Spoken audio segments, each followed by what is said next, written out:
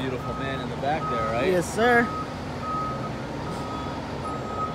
World class. Seems like the best driving Oh! spot. You're doing great, man.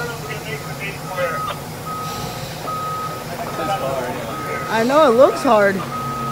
Back in a freaking No, I said that's his car anyway.